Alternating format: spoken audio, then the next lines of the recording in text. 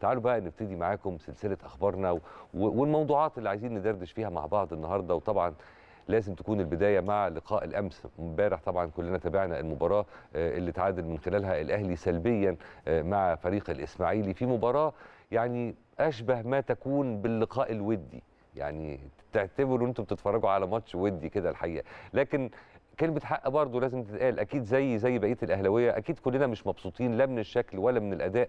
لكن يعني تجاوزا هنقول إن إحنا مبسوطين بإننا بنكسب عناصر مميزة عناصر جديدة وشابة ودماء جديدة بيتم ضخها في الفريق الأول للنادي الأهلي. زي ما شفنا امبارح كان مصطفى شوبير آه، في حراسة المرمى متألق وكذا عنصر الحقيقة من الشباب اللي هيكونوا مكسب كبير لينا في الموسم الجديد بإذن الرحمن. أما سوارش فأتمنى إنه يكون يعني بيتعامل مع بقية المباريات ال- اللي فاضلة آه، من منطلق ال- التفصيل اللي كنت بتكلم مع حضراتكم فيها من شوية ما قلت لكم إيه قلت لكم إحنا عايزين نتعامل مع اللي بيحصل حاليا والمرحلة الراهنة اللي إحنا فيها كفترة إعداد واختبار لعدة عناصر. لأن ده الحقيقة التفسير الوحيد اللي ممكن نقبله ونتعامل معاه على انه يعني إيه في شيء من المنطق. أتمنى يكون سوارش ماشي في نفس ال track اللي إحنا كمشجعين ومحبين للنادي الأهلي ماشيين فيه. وعموما أكيد عندنا برضو أرجع واقول عندنا كلام كتير قوي عن ماتش امبارح هنتكلم فيه في الفقرة الحوارية الأولى.